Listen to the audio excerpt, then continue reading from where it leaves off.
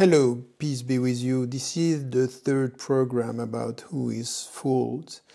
And I think it's important to talk about uh, the reality of our world today while we are witnessing massacres and people being killed, innocent people, civilians, in the Middle East, in Palestine, in Gaza, in Lebanon, but not only in these uh, countries. We also have the same reality in Burma, in India, in Congo, and in so many other places. And with this new technology, we know now what is happening.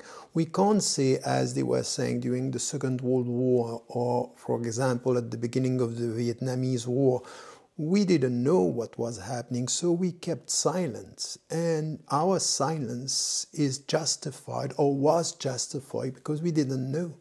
Today we know, not because of the media coverage, because the media coverage is biased, it's not transparent, it's not always the same wherever things are happening. We have seen this over the last year with Palestine, with Gaza, where the media coverage was so superficial, so nothing indeed. So we had to rely on the uh, social media, and we got many, many information and we know and we have been uh, updated about what was happening around uh, uh, in the Middle East, around the world. And no, today we can't say we don't know. We can't say, oh, I cannot take a stand uh, because I don't know what is happening. Now we know, and the new technology is adding responsibility to our responsibility as human beings.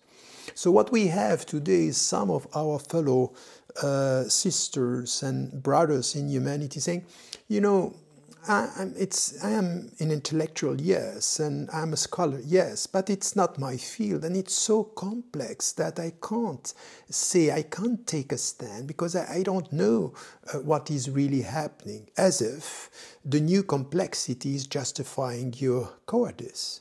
So your cowardice now, it's based on the fact that it's so complex, it's so difficult to understand that I prefer to be neutral. I prefer not to speak. I prefer silence. So this new type of silence based not on we didn't know or we don't know, based on oh but yes we know but it's complex you know it's difficult. And and between the two i prefer not to take a stand between you know the oppressors and the oppressed people. It's it's it's not it's not right because i could be mistaken. So you have this type of people.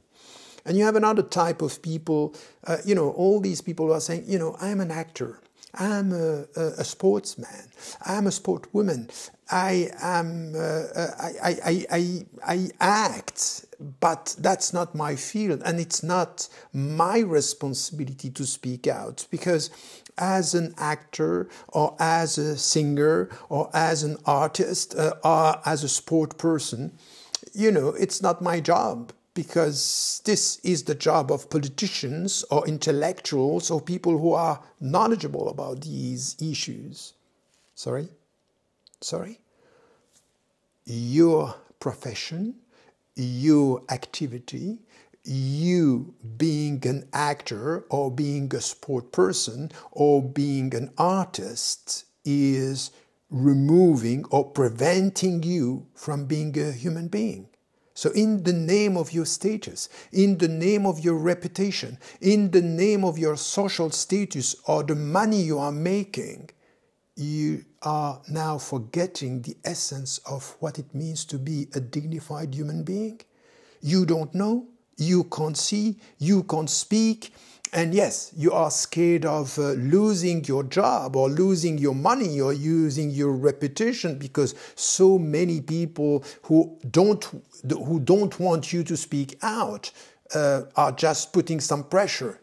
Silence. It's the best way. So killing could carry on, uh, innocent people could die, and you have your status. You uh, carry on acting, playing, or whatever. I'm sorry. I'm sorry. You can't say, as was said in the past, we don't know. You can't now say it's too complex, I cannot take a stand. And you can't say, because of my activity, because of my status, because of, uh, uh, you know, it's not my job to speak out, I'm, I'm losing my dignity as a human being. At the end of the day, do you have a conscience? What are you going to say in front of your conscience the day where there is only you in front of the mirror? Or you are going to be before God? What would be your answer? Oh, you know what? I didn't speak. Because, yes, I knew, but I was playing soccer, football. I was playing basket. I was acting. I was a great actor. I was, and I was. No, you are nothing. You are nothing. Because at the end of the day, you are sitting down in your living room in front of your computer, in front of your TV device, and, and you are celebrating the name of these great people, these great men, these great women through history who were able to speak out. Oh, Dr. Martin Luther King, Nelson Mandela, and so many great people. They were courageous, and you hide your own cowardice behind their courage. And you just carry on living your life while people are being killed in African countries, in the Mediterranean Sea, between the south and between the north. People are dying because they are just trying to save their life, just to have a dignified life, and you keep silent. Being, there are massacres in uh, Gaza and in Lebanon. The uh, uh, International Court of Justice is speaking about genocide, and you keep silent. And what is happening in Burma? Silence. And in India? Silence, silence, silence. Oh, it's none of my business, or I can't speak, I don't know. I'm sorry, yes, the situations could be complex. But when there is an oppressor and where there are victims and oppressed people, you are not, just don't try to play with complexity to hide the fact that you are coward enough not to speak out. Because if our world is facing what we are facing today, it's because people are not speaking out. And I was told, oh, you know what, I'm not going to follow in your footsteps because look what happened to you. You were very talkative and, and, and vocal about uh, uh, the Palestinians and about Islam. And look at what, what they did to you, what happened to you. Yes, that's true. And I was ready to pay the price. But this wouldn't have been the case if many were with me, not pushing me uh, uh from uh, behind and pushing my back and say, Oh, we are behind you, go ahead and speak out. And then when it happened, I just turned my face and nobody was there. Because, yes, multiple voices, it's power. It's more powerful than only one single voice. And we need to be many and to stop idealizing voice or, or men or leaders.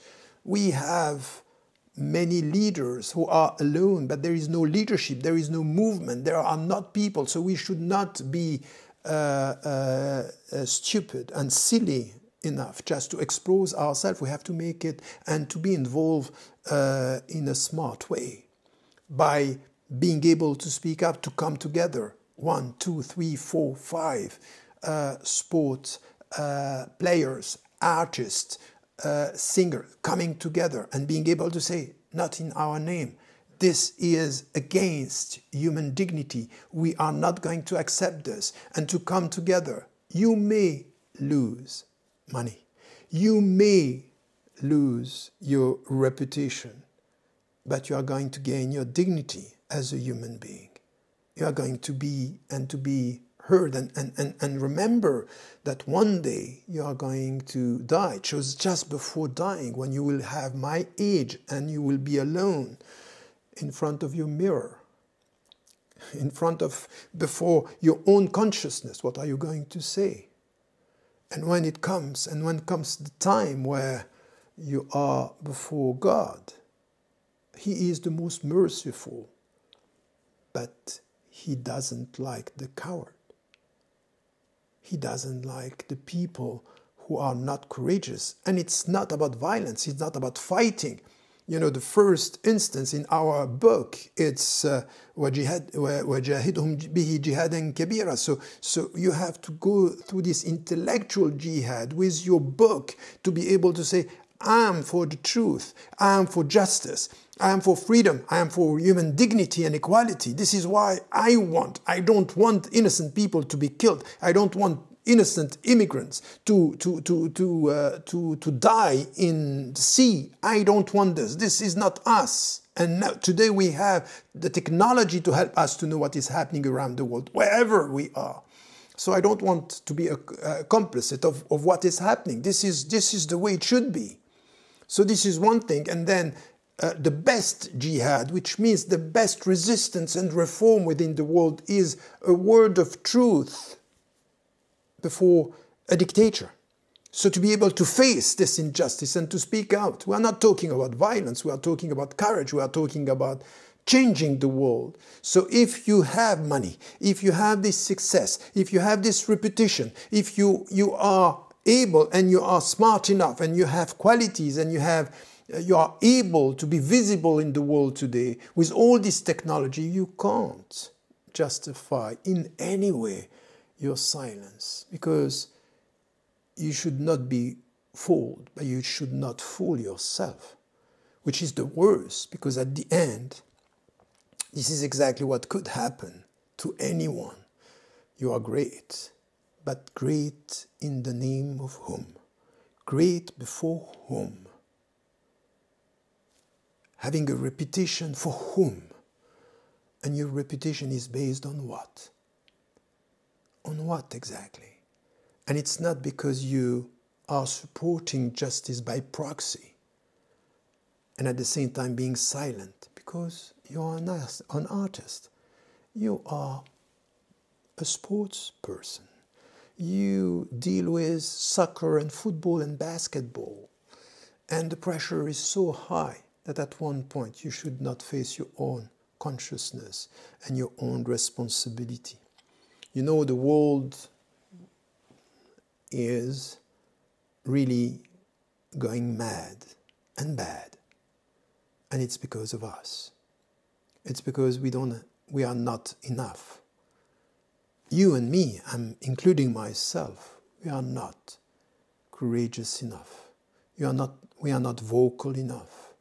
And when we listen to some voices coming from Africa and coming from the Middle East and Palestine and Gaza and India and China saying, Where are you? Where are you? How are you going to justify your silence? You knew. And you kept silent. And I think that uh, we have to acknowledge who is fooled who is fooling him or herself. And uh, whatever happens, and if even among human beings you lose money and reputation because they are targeting you, at least in front of your consciousness and before God, you remain dignified. And it's better to leave this world dignified with no money and even no reputation, while or instead of leaving this world rich, wealthy, with a great reputation, but an empty heart, coward among the coward people. Isn't it? Don't forget to tell the people you love that you love them. Life, it's fragile.